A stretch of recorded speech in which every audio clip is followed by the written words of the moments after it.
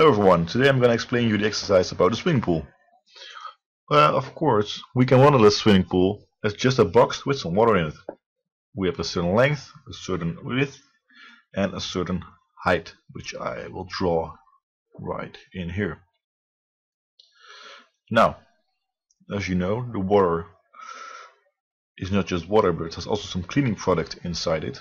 As uh, we start from T0, as the professor throws in this cleaning product, and I call this product A. Now we have some inflows, which we call VV, and some outflows, which is exactly the same, since the volume doesn't change.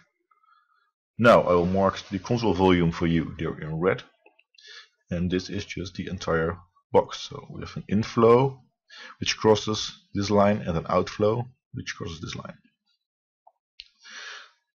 Then I can calculate the volume of this control volume which is 450 square cubic meters.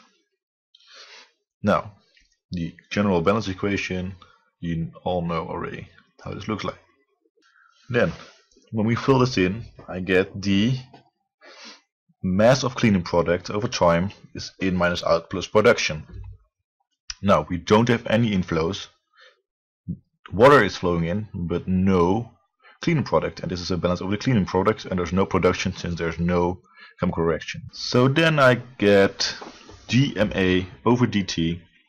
I can write this out differently as d times c concentration of A times V dt since this is a component balance and then I can take V outside of the bracket since V doesn't change over time and if you do some mathematics you can take it out.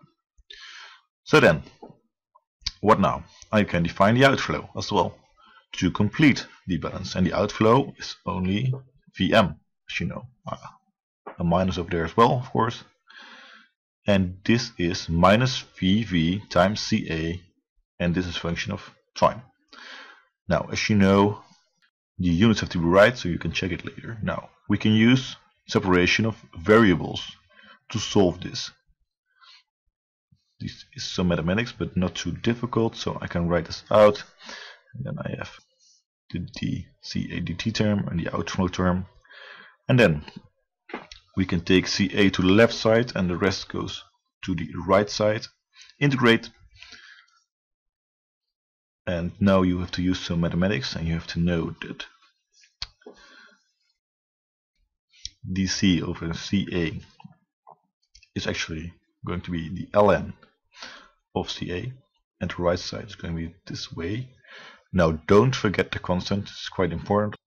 Ca is c2 times e to the power minus vv over v times t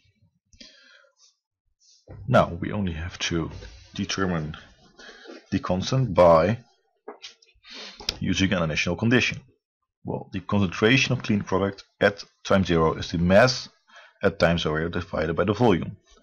Well, the mass was 1000 grams divided by 450 cubic meters, so this is easy calculation. Take it in your calculator and you'll get it out. Well, this is also 2.22 milligrams per liters, since it's only a change of units. Now, if you write this out, you can fill this in, and then you see that Ca0 is actually C2. Well, we'll fill this in, and then we have our final equation over there. Let me mark this here in green for you.